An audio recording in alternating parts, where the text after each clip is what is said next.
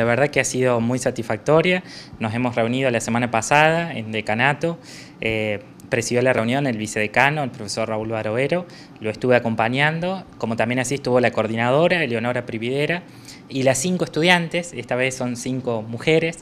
que van a estar eh, desarrollando todas las actividades del programa Martiacén durante el periodo marzo de 2017, marzo de 2018. Eh, lo que se le comentó en condiciones generales es eh, qué implica ser miembro del programa, cómo el programa Martiacén se integra dentro de la política de extensión de la Facultad de Económicas y especialmente el compromiso y la visión que tiene la Facultad de Económicas con respecto a eh, no caer en tecnicismos de tipo teóricos, sino hacer un énfasis particular en la coproducción de conocimientos en el territorio.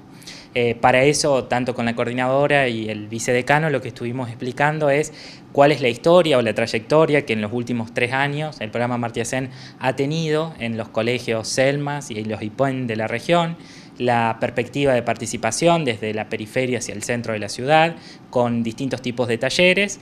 y, bueno, lo que se los,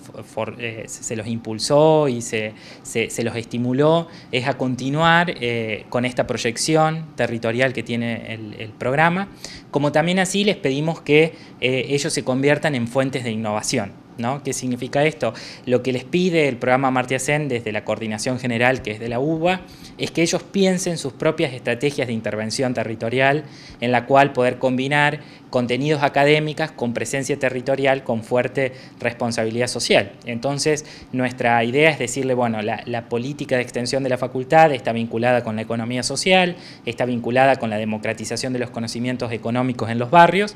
y en ese marco es importante que ellos también presenten eh, distintos ejes de trabajo, como también así involucren a otras instituciones, colegios y determinadas eh, instituciones de perfil social que por alguna circunstancia la facultad todavía no ha logrado vincularse. ¿no? Muchas partes de estas vinculaciones es por conocimiento previo, por intervenciones anteriores, que esto chicos que generalmente se vinculan con este programa ya tienen un perfil de,